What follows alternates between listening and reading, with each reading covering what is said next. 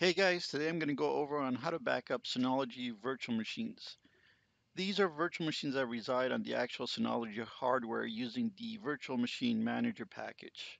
Now normally this wouldn't be a big problem, but Synology has somehow managed to release a product without an easy way to back up the created virtual machines.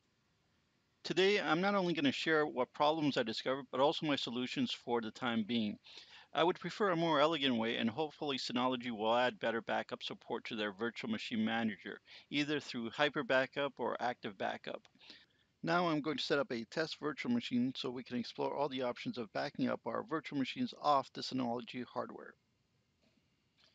I'm going to finish setting up our Windows 10 virtual machine by installing the Synology Guest tool.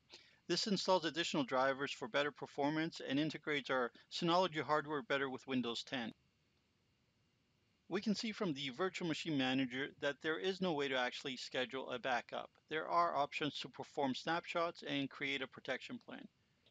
A protection plan is similar to a backup by allowing you to create a schedule snapshot and a retention policy.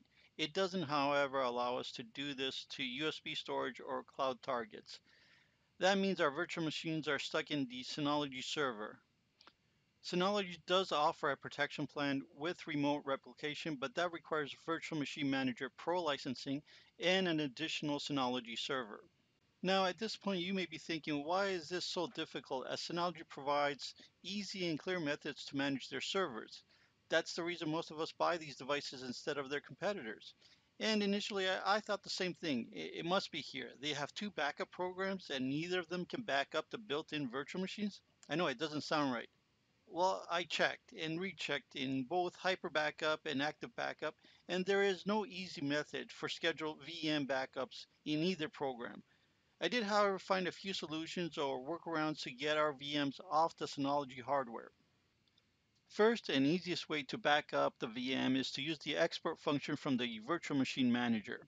Once we export it to a folder, we can easily back it up in Hyper Backup, either to USB or cloud storage. Once exported and backed up, I can safely delete my VM, restore it to a folder, and import back in. This will save me from a catastrophic drive failure. Local snapshots and protection plans will not. The only drawback to this is that exports cannot be scheduled, but for some requirements, this might be a good enough solution. Active Backup provides a way to back up virtual machines, but unfortunately, this is only for Hyper-V and VMware. Strange that Synology provides a backup method for competing technologies, but not their own. If we look carefully though, Active Backup does provide a way to back up physical PCs with the bare metal backup option. This is intended as a method to back up physical PCs, but the same method can work for virtual machines. We need to install the bare metal client app and perform a backup. We also need to create a recovery media in our case, it will be an ISO that we can select as the startup media from the VM manager. The active backup is still on the Synology hardware, so let's go ahead and use Hyper Backup to back up the contents of the active backup data folder. Again, this allows us to back up to USB storage or cloud. So now let's delete the VM and use the recovery media to boot up and restore our backup from active backup. So this will work for my requirements. The VM backups can be scheduled with Active Backup, and using Hyper Backup, we can back up to USB storage or the cloud. Another way to restore the VM from Active Backup is to use the virtual image located in the Active Backup data folder. This allows us to skip using the recovery media and create a working VM much faster. This method is a little risky and not a method that Synology would recommend. If anyone out there has a better method, please let me know in the comments below. So that's it for this video. Thanks for watching.